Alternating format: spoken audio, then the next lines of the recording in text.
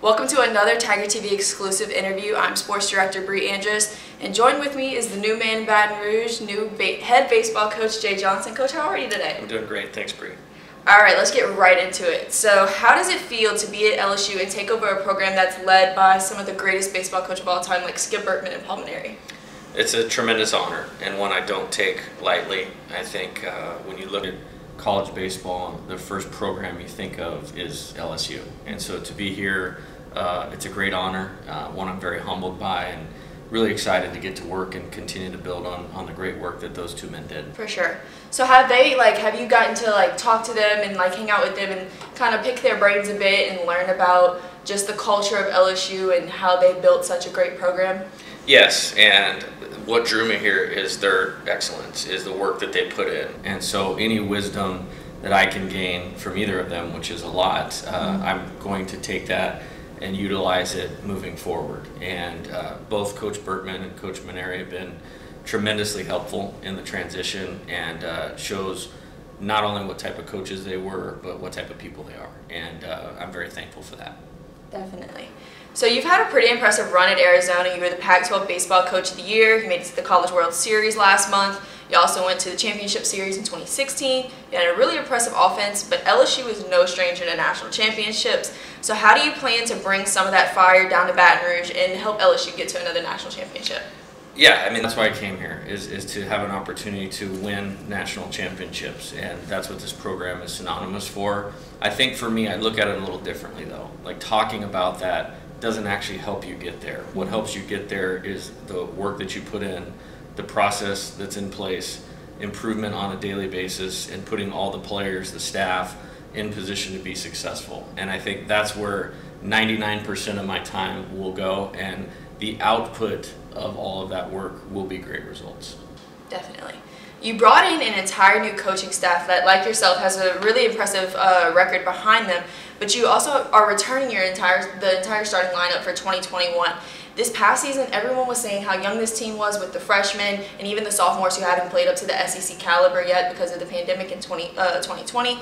So, how do you think that experience on the team will mesh with the new coaching staff? Well, it's a great challenge, and it's something I'm really looking forward to. I mean, being here on a daily basis has been tr- tremendous so far. I want to get to the first day of school. So we're in this meeting room. Our players are in the weight room. We're out on the field in individual work. We move into team practice as we get into October and get through that process I was just talking about of building team.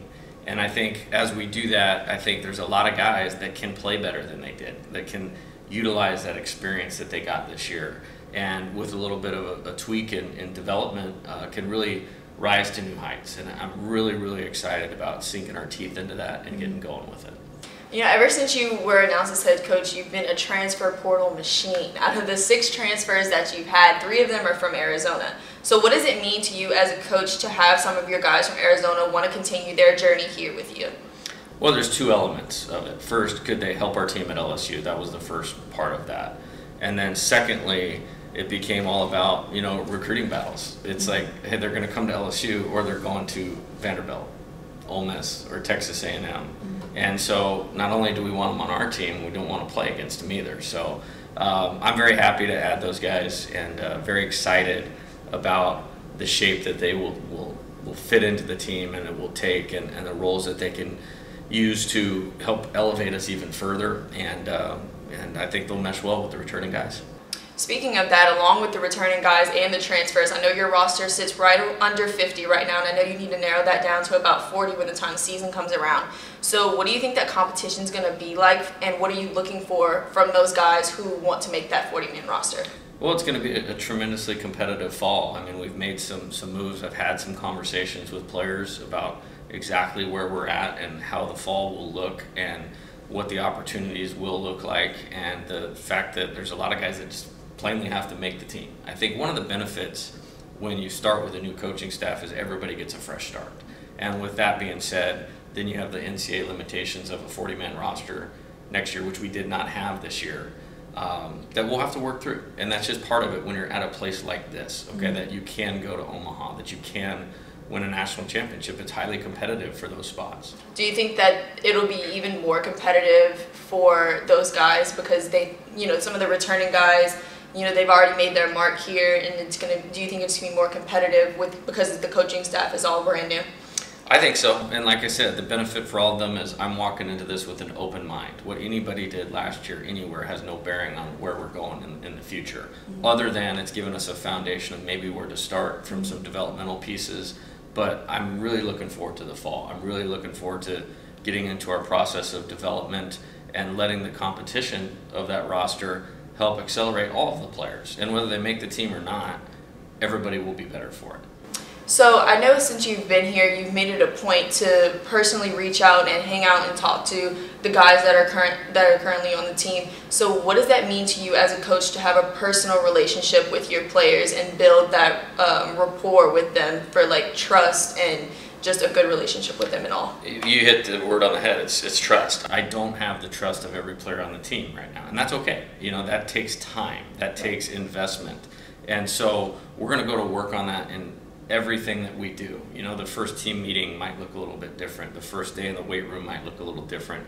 The first, you know, skill instruction period for six weeks, fall practice, and I think over time, as they see how our entire coaching staff is invested in their success then I think that will build over time. And then that's the goal because what we're trying to do is, is gain that trust so they can develop by the system we have in place. So I know the baseball season's kind of far away for right now, but we are going into fall ball when, uh, whenever the fall starts up. So what are you looking for from your guys for fall ball? How are you looking for them to improve in certain areas? And what are you looking to accomplish for the team in fall ball? Yeah, I think there's a couple things. Uh, laying a foundation and, and again, we want to talk about winning. We want to talk about Omaha. You want to talk about a national championship. But there has to be a foundation of fundamentals, of competitiveness, and a team of, of high character, both on and off the field, for those things to become a reality. So that's the first part, is laying a foundation of, of those three principles. Secondly, it becomes really important for us to get to know the players' strengths and weaknesses so we can help them improve and you can kind of start to put some pieces of a winning formula together. And then, really, for me, the fall is great because it's about development. You know, there's not a win or a loss that goes on the scoreboard the entire fall that counts against you. So, moving towards the team we want to be is extremely important.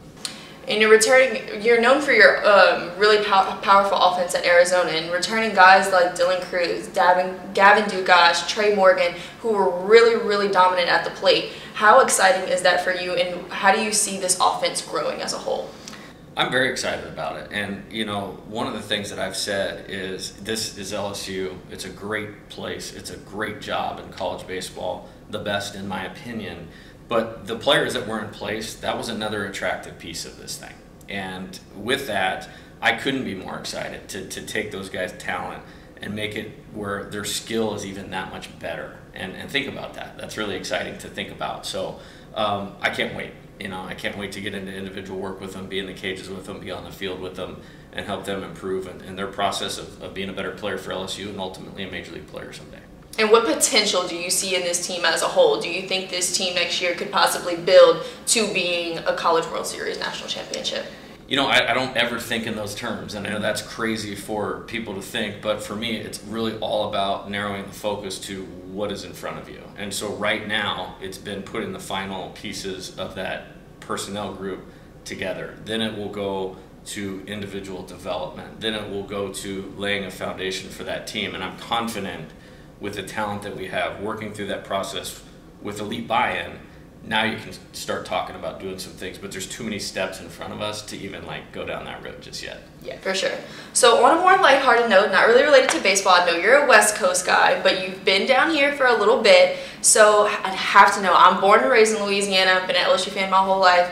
I have to know have you tried any louisiana authentic cajun food yet? Gumbo jambalaya crawfish anything like that yet my first day dove right into the alligator thing. Oh, really? So that, Alligator's that's, good. That's probably as aggressive aggressive as I've gotten. I'll, to be honest, I haven't left this building too much over the first three and a half weeks. So I think the Uber Eats, uh, you know, business in town is a little bit, little yeah. bit up right now. We got to get you some gumbo. Agreed. Definitely, Looking sure. forward to that. All right, well, that'll do it for us today, Coach. I really appreciate you sitting down to take time out of your day to talk with us. And thank you all so much for watching for a sit down exclusive interview with head baseball coach Jay Johnson.